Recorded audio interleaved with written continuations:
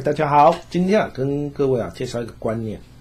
我们总是啊啊很喜欢在书上呢去学一些专有名词哈，什么天康五合啊，和合化会怎么样啊？地支六合啊，合化会怎么样啊？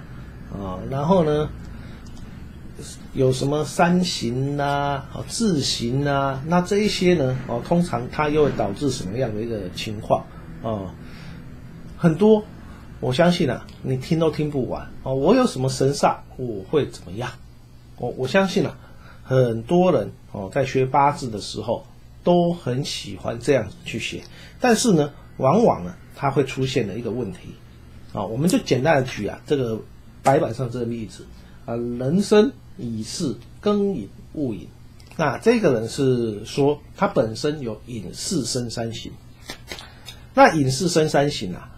啊，在书上讲说，时常呢会惹上有牢狱之灾，惹上官司诉讼，啊，或者啊会到外地啊，会到外地去。然后呢，隐士生呢又是一个无无恩之行，就是说啊，对于长辈啊会不好。可是实际上，他跟他的父母亲、他的老师其实都处得很好，甚至啊都还可以怎样？老师他们都可以约出来吃饭。啊，那你他就算呢，哦，走的是他的祭神，他也没有牢狱之灾，什么都没有啊？怎么怎么呢？在书上里面写的就是这么可怕，他就觉得很茫然，怎么会这样？哦，那讲了这么多，哦，他讲了很多，可见呢，他对八字有没有研究？有研究。非常的有研究，所以说他才知道说哦，有这一些东西，有这些东西。可是呢，绝大多数人在学八字的时候，就跟他一模一样，一模模一样样，怎样讲了一大堆道理，可是实际上不会拼命。拼命来讲的话，它是一个最基础的东西哦。很多人学了学很多学理啊，那空讲理而不批命。那我们来看这个八字啊，我们可以知道，他这边四生一合，对不对？所以他的天干呐是什么？戊克刃啊。那地支呢两个乙木。好啊，我们来看嘛。这个是他的本命啊，这是他的应运啊，这是他的财运啊。所以他的财运跟应运其实都怎样？都很不错的啦。那他跟父母亲很好，这很正常啊。财运代表父亲啊，应运代表母亲啊，所以没有什么跟父母亲不好的一个特质。那他的导师，导师是他的印啊。那我们来看，他这是他之前的大运嘛，丙午就火来生土，对不对？更克的壬水而已啊。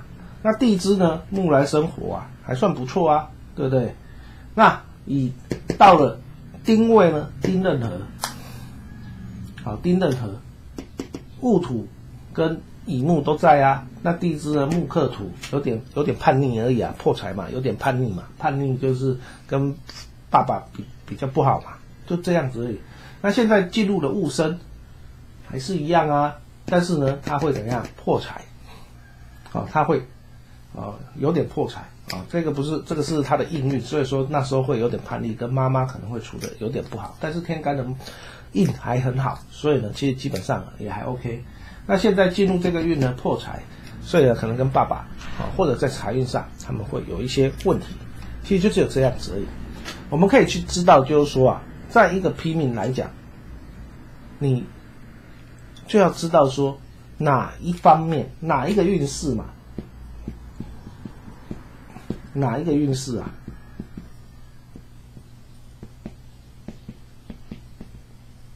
好或不好嘛？绝对不是一个笼统式的，好，不是一个笼统式的，而是哪一个运势变好了或变不好，在这个运程里面，甚至在这一个流年里面，甚至流年是好的，但是你要注意流月嘛。我常讲的，出事情都很快，哦，出事情都很快。你要变好，非常非常慢，所以有的时候我们甚至都是看月份的原因就在这里哦。但我这一个大运我很好，嗯，很好，但是有哪几年不好，你要注意而你今年好或不好？好，你今年是好，哪几个月会不好？你要注意，这些都是我们要给客人的一种建议。我们在批命是这样在批的，因为小心驶得万年船。了不了解？在五行派里面，他在跟你讲的一个意义，因为到处都是克，所以呢，表示啊，我们人生不如意十之八九，因为克就是问题的所在，多变少，你就会不好。哦，所以呢，他现在进入这个运，财运开始在偏弱了，所以这时候呢，他就要怎样，好好的在他的一个运势上避开财这一项，不要去摸财，否则他去摸财这一块的话，很很容易会怎样，兵败如山倒啊！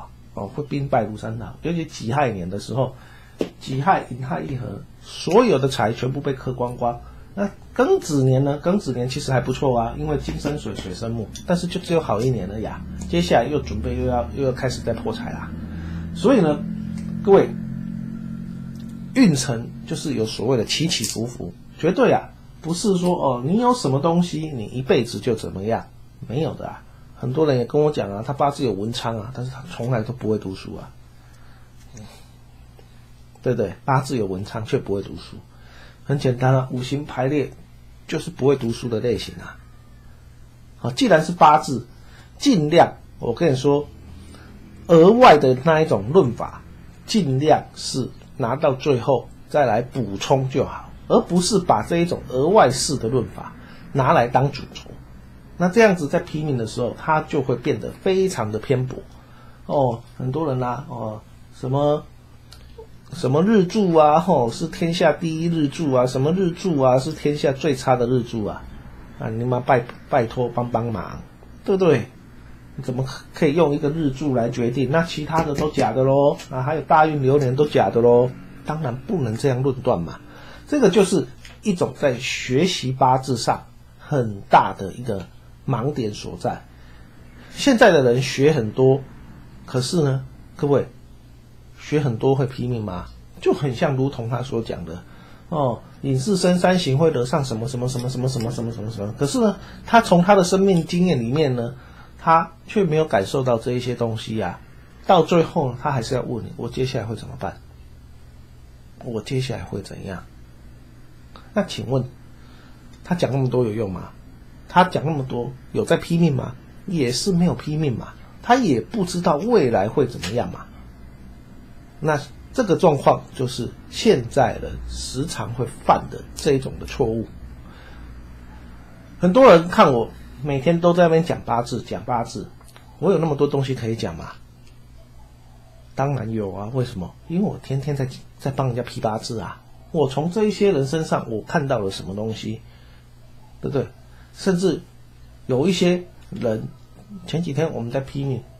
他就说：“哎，老师啊，上一注大运哦，我刚好去做做偏的啦，啊，时常被抓去关。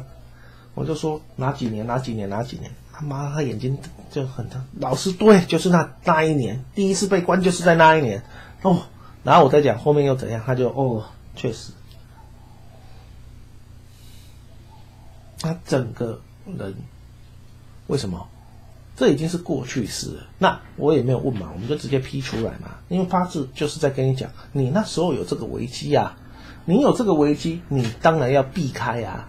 你还跟他拼，这个就是很多人啊，学了八字反而被八字所害，因为他根本就没有实证过，他根本就不知道未来会发生什么事，而是呢一大堆理论而已。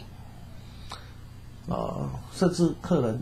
一来，我说哇，你怎么在这时候创业？日主授课，他去创业，结果不但没赚到钱，还负债三千万。请问你要过这种人生吗？对不对？所以我一直跟各位强调，学习虽然很重要，但是学习以后的实证更重要，因为你才会真的知道你的水平在哪里。那在批论的时候，哦，你不要跟人家批那个你一辈子怎样，你一辈子怎样，那根本都是鬼扯淡的，嗯，那来批一辈子的，你要批的是哪一年会怎么样嘛？要时间呐、而这时间呢，要用年来计算呐、时间是哪一个年嘛？会有什么样的事嘛？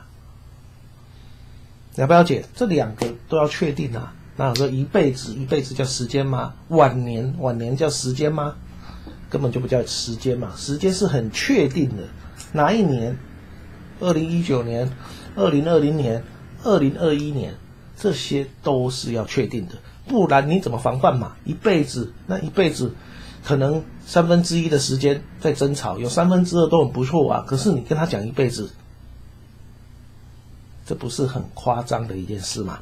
那这种批命有任何意义吗？没有意义。所以呢，各位，很多人的八字其实都是在批很没有意义的东西。当然，你批没意义的东西，你用在你身上，当然也一样啊，是没意义的啊。你根本就不知道接下来会好会坏嘛。所以啊，在学八字的时候，我一直在跟人跟各位强调说，你要实证嘛，不要学了学理都就很会讲讲理。那我问你，接下来会怎样？接下来明年会怎样？哇，讲不出来。啊，批八字不就是这样吗？哪一年会怎么样嘛？对对？财运好，官运不好，这些不是都要算出来吗？对不对？所以啊，这个是最基本的基本哦，不要去糊弄哦别人啊，甚至啊，我我的学生啊，学了八字，花了四五十万去学八字，学出来的啊，在跟人家拼命的时候，他内心虚虚的。因为他根本就不知道会怎样，甚至啊要骗别人。我说，哎呦，怎么学八字学成这样，对不对？还要骗别人，有什么好骗的啦？啊，你就这么这样子批出来，就叫他注意嘛。我们在拼命的时候超有自信的，对不对？叫你注意嘛。啊，所以呢，各位，这个就是我们现在学八字最大的问题，不求啊精准。